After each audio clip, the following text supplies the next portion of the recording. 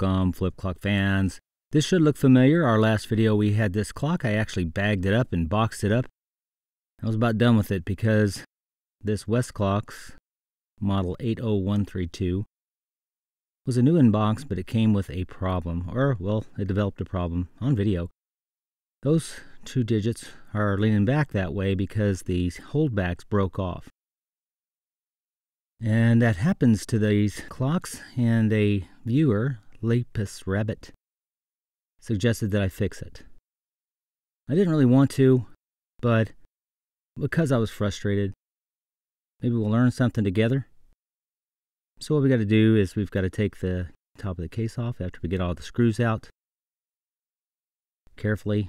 We don't want to break anything else. Although, foreshadowing, we actually do break something else during this. See if you can figure out what that might be as we go along here. Anyway, this mechanism is pretty for sure a Ken-Tech type mechanism.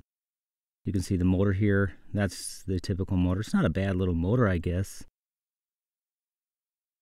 But again, we know there's major issues with the mechanism and the holdbacks. Makes you wonder what were they thinking?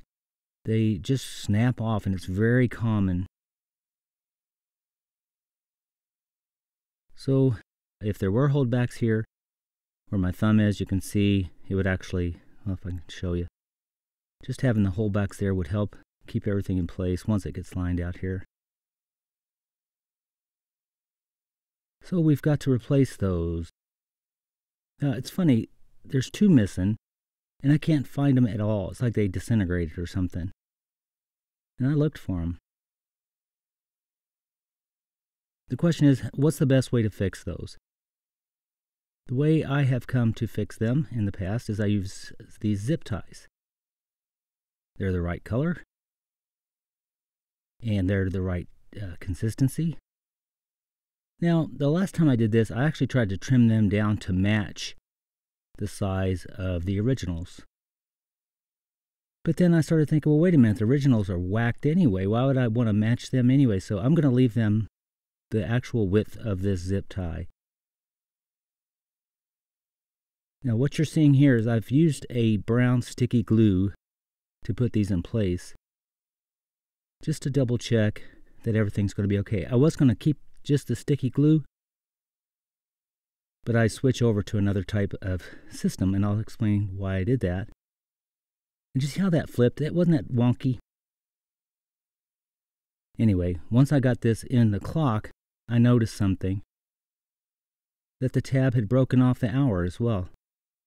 I couldn't believe it. So, instead of giving up, I thought we got to get this fixed. I'm not going to give up. I already fixed the hour. Now, here's how I did it and how I would recommend it. I've used super glue. Now, that's inherently dangerous anytime you've got super glue around plastic. But I've, I've put a drop of super glue on there, and I'm carefully getting it in place to match where the other one would have been. Trying not to get the super glue on the tiles, of course. Now, if you see on the hour, I've actually already placed the hour.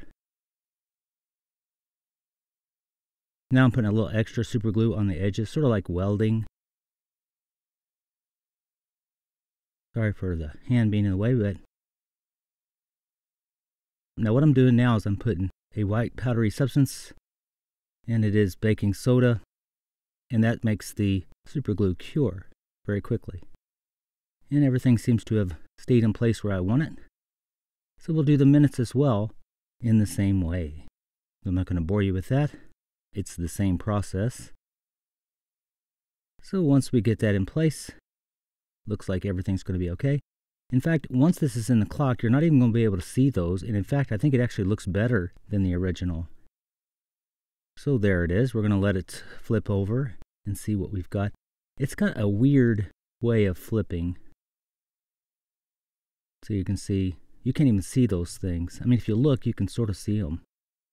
But they fit in well. So that's what I would recommend. I can't even pick them out. But they're there. Anyway, as you see, it's just got a weird way of flipping. We'll go ahead and take a look at how it flips over on the hour.